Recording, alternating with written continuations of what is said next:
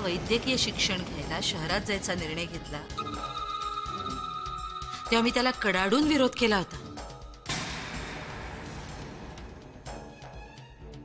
तेव्हा कोणी त्याला डॉक्टर व्हायला प्रोत्साहन दिलं? तूच ना? मग हे त्याचे साईड इफेक्ट समज आता हे बघा तपासायचं झालं ना तर डिस्पेन्सरीतच बरं पडेल नाही? अरे पण डॉक्टरना इतका कसला संशय येतोय? आणि विजय आपल्याकडे काहीच नाही बोलला. याचाच अर्थ शंका गंभीर आहे. त्या म्हणाल्यात की रक्तचंदनासोबत तुरटी उगाळून लावा म्हणजे बरं होऊन जाईल. छान. म्हणजे आता तू ते औषध लावणार? मग त्यात काय? एवढे सगळे उपाय केले त्यात हा एक. पण शेवटी माझ्या रामरायालाच माझी काळजी हा? हम्म आम्हाला काहीच नाही ना? अहो असं कोण म्हणतंय? हो ना. मग चल आपण पटकन डॉक्टरांकडे जाऊन येऊया हे विनायक पटकन गाडी काढायला सांग. आम्ही आलोच. हो.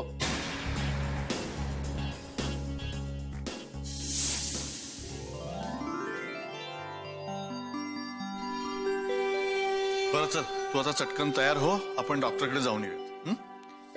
आणि हो येताना जरा टेकडीवर पण जाऊन येऊया.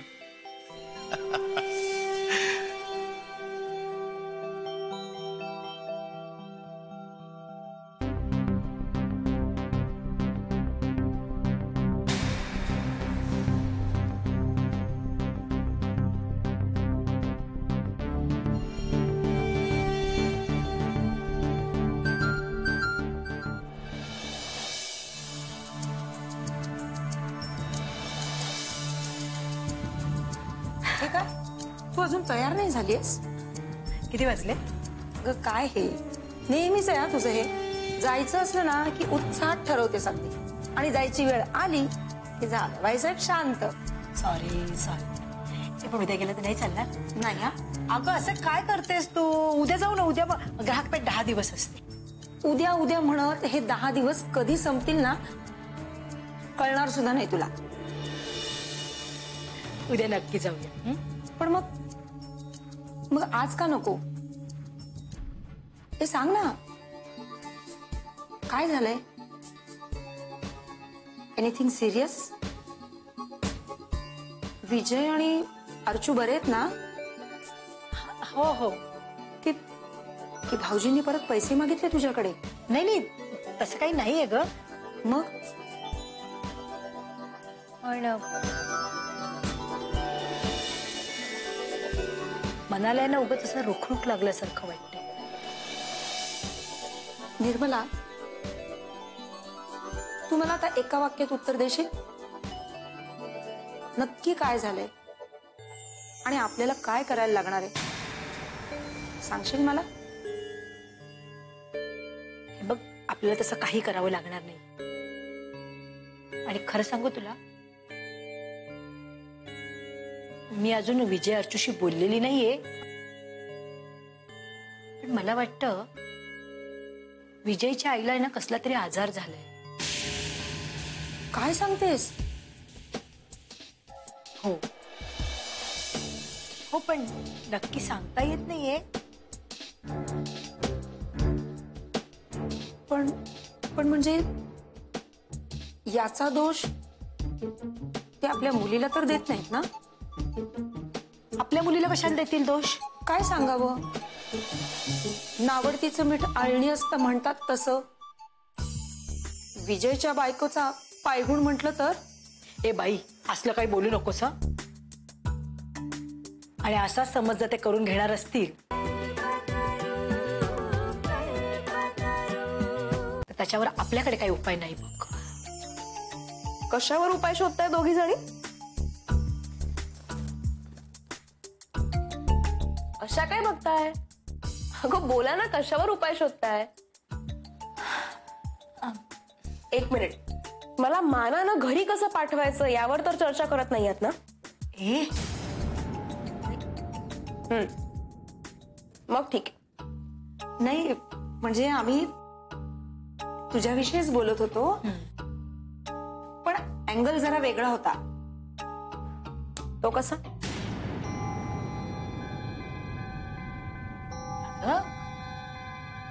गंभीर काही नाहीये बेटा।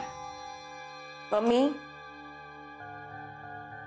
माधुरीला आईंच्या हातावर एक चट्टा दिसला. आणि आणि ते सिमटम्स योग्य नाही.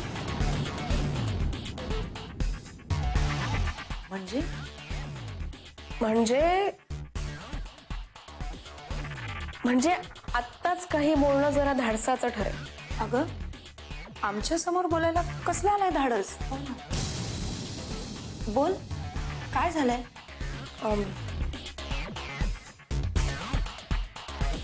कदाचित तो कुष्ठरोग असावा.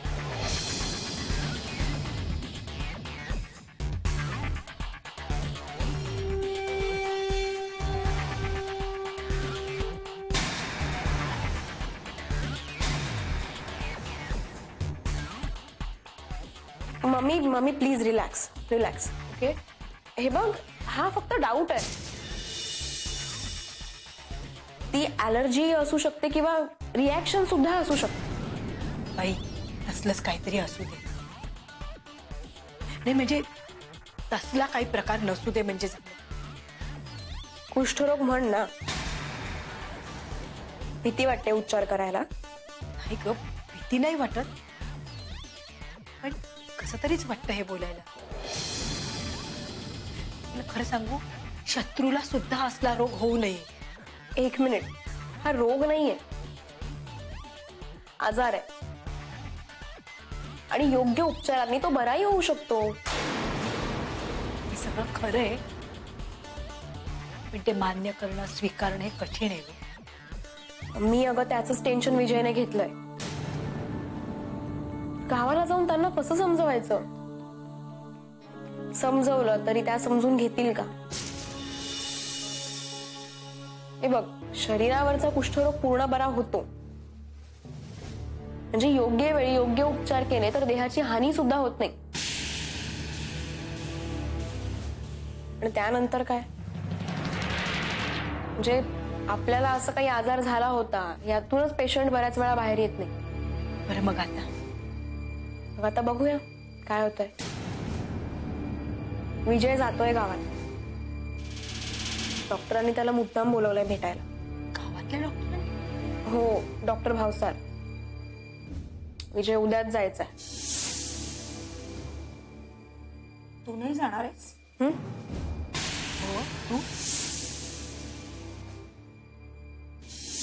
अर्चनाला घेऊन पहिल्यांदाच आलात ना? मग? तिचा गृहप्रवेश नको व्हायला. बहिणी त्यांचं औक्षण करायला हवं ना? माप ओलांडायला हवं. बस! जरा शांत हो मा आधी आईंना बोलवणार. जे काही ओवाळायचंय ना ते आईच ओवाळतील. नाहीतरी आपले भाऊजी मोठा पराक्रमच गाजवून आलेत ना?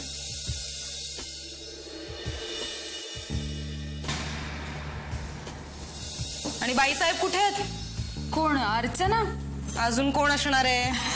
ती आंघोळ करते आणि काळजी करू नका मी तिला सांगितले डोक्यावरून पाणी घे.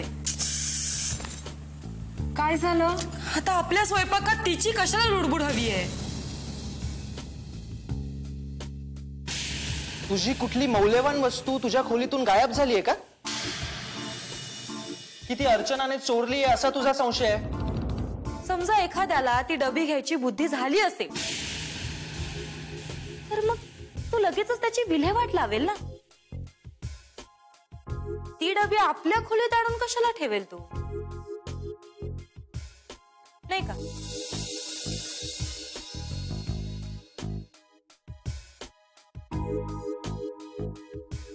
नाही. मी नाही जाऊ शकत.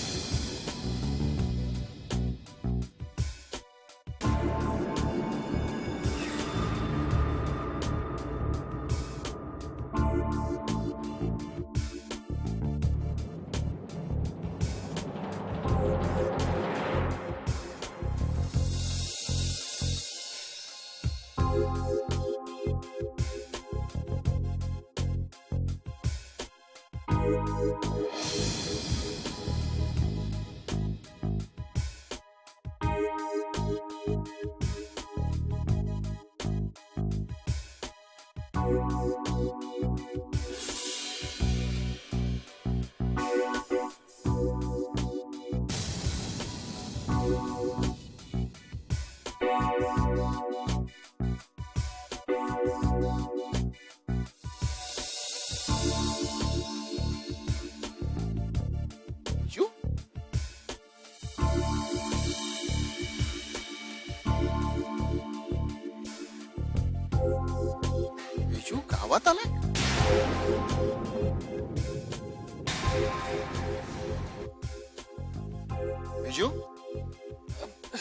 दादा.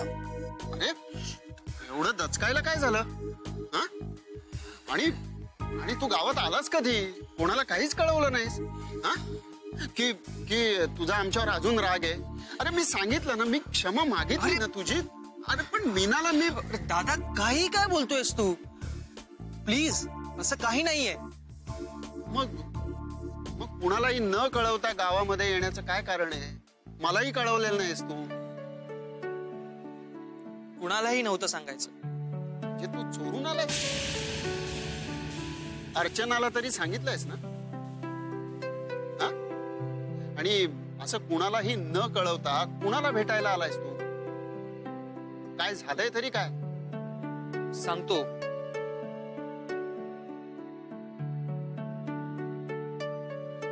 अरे बोल ना काय झालंय? दादा आपले डॉक्टर म्हणजे भाऊसार काकांनी मला भेटायला बोलावलं. हे असं चोरून. हो.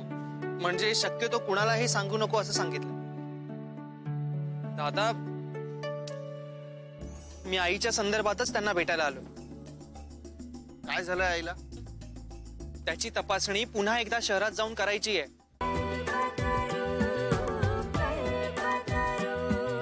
अरे साधी रिॲक्शन तर उठलेली आहे हा?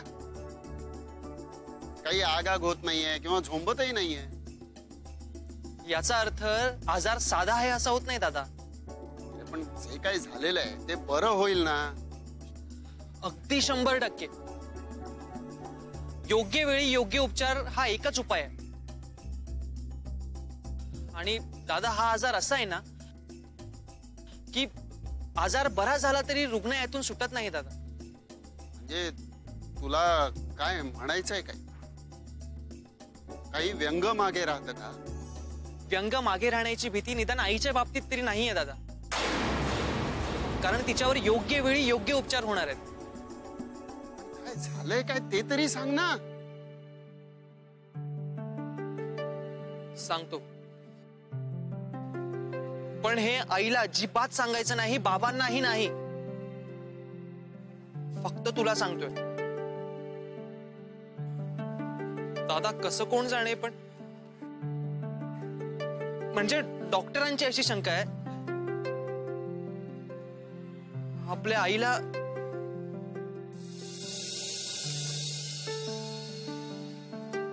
कुष्ठरोग झाला.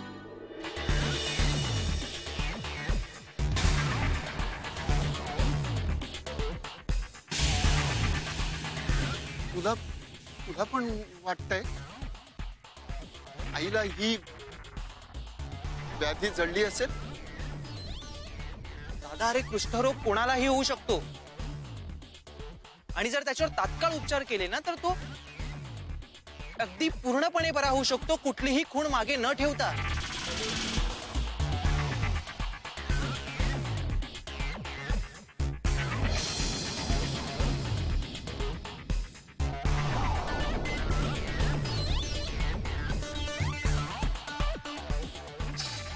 दादा रे सावर स्वतःला.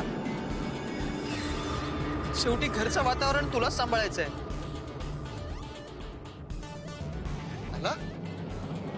अर्थात. म्हणजे तू घरी येणार नाहीयेस? मी घरी आलो तरी घरचा मोठा मुलगा तू आहेस. तुझा मोठा भाऊ.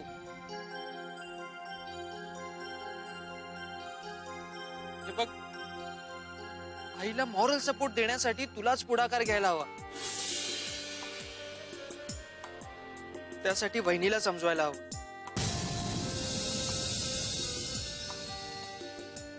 दादा काय झालं? कसला विचार करतोयस? हे बघ तुला वाटेल आपण वहिनीच्या कानावर घालूयाच नको. पण तसं नाही होणार आहे. आईला नक्की काय झालं होतं हा प्रश्न वहिनी तुला विचारेलच. आणि उत्तर मिळवण्यात ती पटाईत आहे ती याचं राजकारण सुद्धा करू शकते. माहितीये तुला? आणि आता सध्या तरी घरचं वातावरण नॉर्मल राहायला हवं असं काहीतरी कर.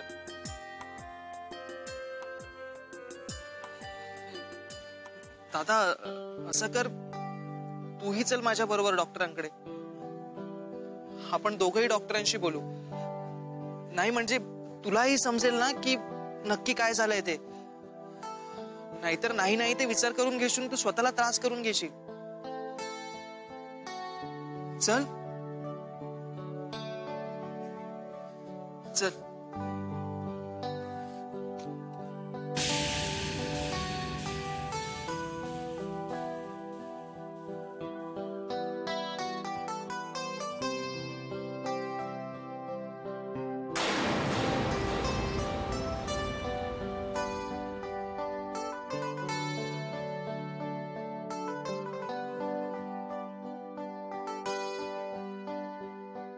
मी यायच्या आधी काहीतरी बोलत होतात ना महत्वाचं बोलत असल्यासारखं?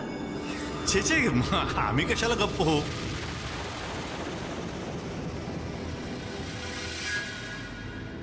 नाही नाही आपण अं, जरा डॉक्टरकडे जाऊन येऊयात का? का काय होते तुम्हाला? छे छे छे हा, मला नाही तुझ्यासाठीच म्हणतोय मी. मला काय झालं आता?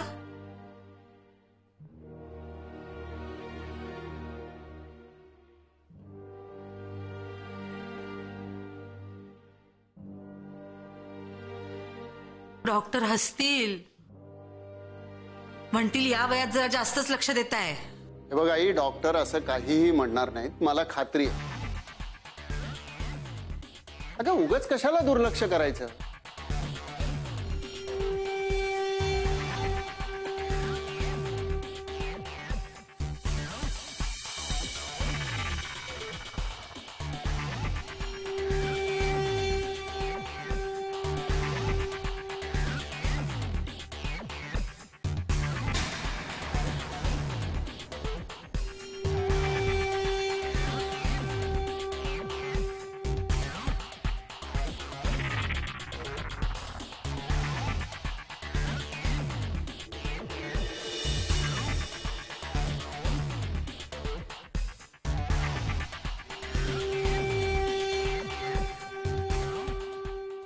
अहो तुमचा धाकटा मुलगा आणि सून दोघेही डॉक्टर आहेत.